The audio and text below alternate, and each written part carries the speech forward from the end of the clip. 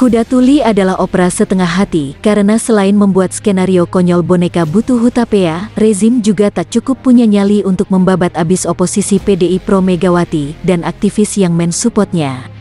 Karena operasi setengah hati, maka penyelesaian hukum juga bukan menjadi bagian skenario untuk membabat aktor utama atau yang dianggap bertanggung jawab.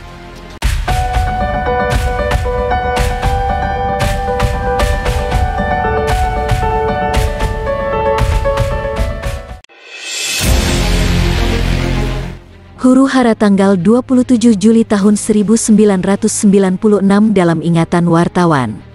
Ditulis oleh Martin Sitompul dari Historia.id. Menjelang tanggal 27 Juli tahun 1996, kantor DPP Partai Demokrasi Indonesia di Jalan Diponegoro 58 Jakarta Pusat selalu tampak ramai. Sejak seminggu sebelumnya, basis PDI kubu Megawati Soekarno Putri itu selalu dipenuhi gelombang massa.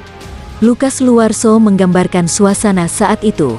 Siang hari suasana kantor sangat meriah, seperti festival demokrasi, mimbar bebas untuk menumpahkan aspirasi demokrasi. Tokoh-tokoh politik oposisi dan aktivis bergiliran pidato di panggung menyuarakan demokrasi. Saya ditugaskan memantau kantor PDI. Jadi hampir setiap malam selalu standby di kantor PDI. Ujar Lukas kepada Historia. Lukas saat itu bertugas sebagai wartawan majalah Forum. Konflik politik memang tengah melanda partai berlambang banteng itu. Nahoda partai terbagi dua antara Surjadi dan Megawati.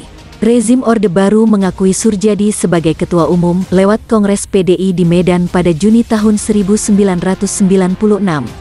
Sementara itu, kubu Mega menolak tunduk. Restu pemerintah terhadap PDI Surjadi dianggap sebagai rekayasa untuk melengsarkan Megawati dari pimpinan partai. Mimbar bebas pun digelar sebagai tanda perlawanan. Setiap malam selalu beredar rumor kantor PDI akan diserbu. Di sisi lain, juga beredar info aparat militer juga melakukan persiapan untuk merebut kantor PDI.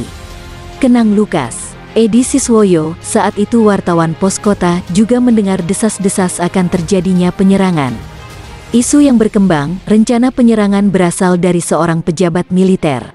Ujar Edi yang saat itu menjadi koordinator mimbar bebas. Pukul 6 pagi, tanggal 27 Juli orang-orang berseragam merah hitam turun dari mobil di depan kantor PDI. Mereka memaksa masuk dan melemparkan bata dan batu ke kantor PDI.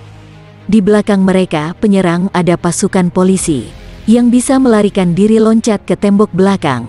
Ada yang naik ke atas kantor dan yang tak sempat lari, bertahan dan melakukan perlawanan dalam suasana ruang gelap gulita. Yang ada di ruangan kantor DPP dikumpulkan dan dibariskan menuju truk yang sudah disiapkan, dibawa pergi entah ke mana. Kenang Edi, kabar penyerbuan kantor PDI tersebar dari mulut ke mulut. Masa berdatangan dan ingin merebut kembali kantor PDI. Kerusuhan pun terjadi antara polisi dan masa di sekitar Jalan Diponegoro 58. Tengah hari, lautan massa semakin banyak dan terus bertambah pada sore, membanjiri jalan Diponegoro. Polisi bersikap represif membubarkan massa. Massa yang kecewa dan marah dipecah oleh polisi. Ada arus massa yang marah menuju Cikini, ada yang menuju Salemba, ada yang menuju proklamasi.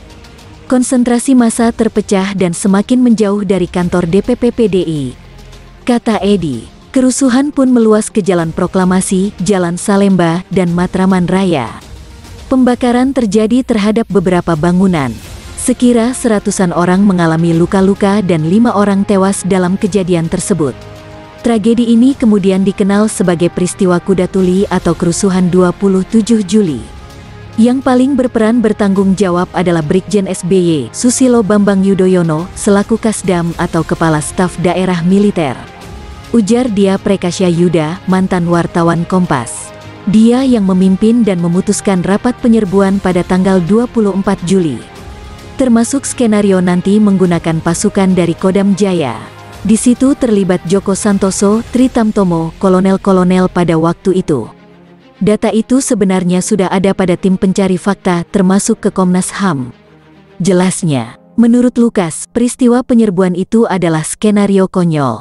Rezim Soeharto ingin mengesankan yang menyerbu dan merebut kantor PDI adalah kelompok PDI Pro Surjadi. Jadi diskenariokan, seolah penyerbuan itu adalah kulminasi pertikaian internal PDI antara yang pro Mega dengan yang pro Surjadi yang didukung pemerintah. Skenario itu konyol, karena jelas terlihat yang menyerbu adalah aparat gabungan, polisi dan militer. Namun endingnya, Butuh Hutapea, Sekjen PDI Kubu Surjadi, menyebut diri sebagai komandan lapangan penyerbuan yang kemudian di depan pres mengklaim telah mengambil alih kantor PDI. Kata Lukas, saya saksikan dengan mata saya sendiri. Lanjut Lukas. Butuh Hutapea muncul di area penyerbuan setelah penyerbuan. Boneka yang dimunculkan setelah huru hara usai. Menurutnya, rezim Soeharto tak ingin terlibat langsung dalam pertikaian karena sudah kadung mengkampanyekan era keterbukaan sejak tahun 1993 akibat desakan Dubes AS Paul Wolfowitz. Pemerintah harus berpikir keras dan merancang skenario yang baik. Itu sebabnya, mimbar bebas Festival Demokrasi di kantor PDI bisa berjalan lama dan terkesan pemerintah tak berani membubarkan. Kuda Tuli adalah opera setengah hati karena selain membuat skenario konyol boneka butuh hutapea, rezim juga tak cukup punya nyali untuk membabat abis oposisi PDI pro Megawati dan aktivis yang mensupportnya. Karena operasi setengah hati, maka penyelesaian hukum juga bukan menjadi bagian skenario untuk membabat aktor utama atau yang dianggap bertanggung jawab. Pungkas Lukas